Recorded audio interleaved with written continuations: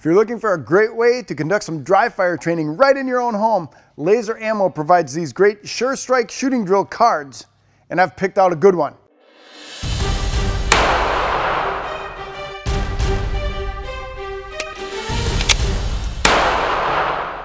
Sure Strike shooting drills from Laser Ammo provides a whole series of dry fire shooting drills that utilize the Sure Strike training cartridges and their electronic targets. So we're gonna do a timed Mozambique drill right here in our own home to tell us how quickly we can put three shots on two different targets. The Mozambique drill has you put two shots to the chest and one to the head. So I've set up one of their multiple target training system electronic targets and the personal electronic trainer, which times how quickly we shoot. And it will give us a random start time, beep, two shots on the chest and one to the head, and the timer shuts off when we put that shot on the head. Keep shooting until you make that shot on the head, and that will tell you how quickly you have cleared this target. Again, two shots to the chest, one to the head. The key to making this work is to have a double action auto-loading pistol or a double action revolver. This Taurus Model G2 PT111 has a resetting trigger, so we get multiple shots without having to rack the slide. That's gonna be the key to function something like this.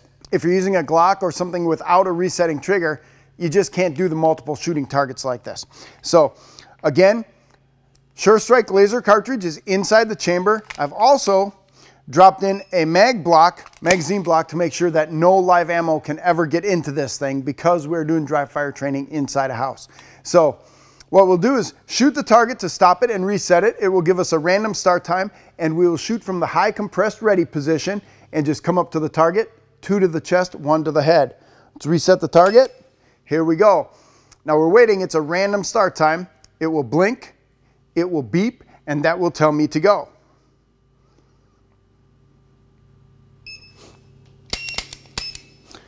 One point six three seconds from a range of about six to seven feet across the counter.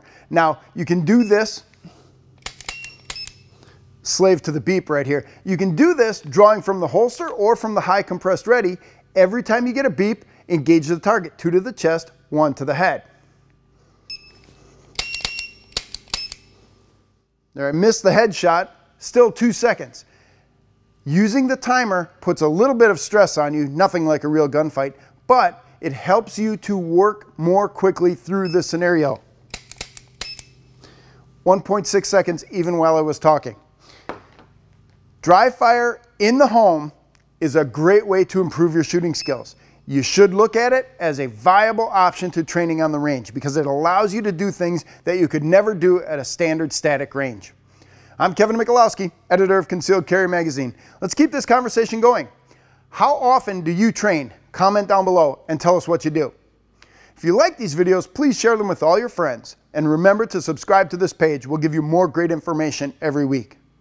Somewhere around here, there's a notification bell. It's either up above or down below. I can't remember where they put it, but click on that bell and we will notify you every time we come out with a new video.